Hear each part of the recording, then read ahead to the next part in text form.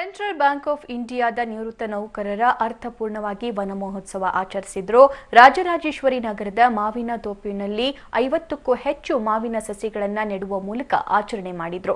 ಹಲವು ವರ್ಷಗಳಿಂದ ಮಾವಿನ ತೋಪನ್ನ ರಕ್ಷಣೆಯನ್ನ ಮಾಡಿಕೊಂಡು ಬಂದಿರುವ ನೌಕರರಿವರು ಇನ್ನಷ್ಟು ಗಿಡಗಳನ್ನು ನೆಡುವ ಮೂಲಕ ಬೆಂಗಳೂರನ್ನ ಮತ್ತೆ ಹಸಿರೀಕರಣ ಮಾಡುವ ಉದ್ದೇಶ ಹೊಂದಿದ್ದಾರೆ.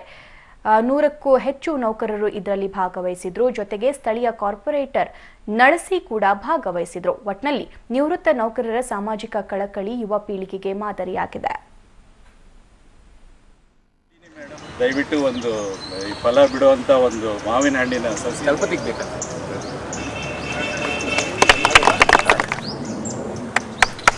ಸೆಂಟ್ರಲ್ ಬ್ಯಾಂಕ್ ಆಫ್ ಇಂಡಿಯಾದವರು ಪ್ರತಿ ವರ್ಷ ನಮ್ಮ ರೀಜನಲ್ ಆಫೀಸ್ ಸಪೋರ್ಟಿಂದ ನಮ್ಮ ಎಲ್ಲ ರಿಟೈರೀಸ್ ಎಲ್ಲ ಸೇರಿಕೊಂಡು ನಿನ್ನೆ ಎಲ್ಲ ಗಿಡಗಳಿಗೆ ಬೇಗ ಏನು ಬೇಕಾದ ಹಳ್ಳ ಎಲ್ಲ ತೋಡಿಸಿ, ಗೊಬ್ಬರ ಎಲ್ಲ ತರಿಸಿ, ಒಳ್ಳೆ ಸಸಿಗಳು ನಾವು ಗೌರ್ಮೆಂಟ್ ಆಫ್ ಕರ್ನಾಟಕದಿಂದ ಬಯೋಡೈವರ್ಸಿಟಿ ಸೆಂಟರ್ ಅಂತಿದೆ.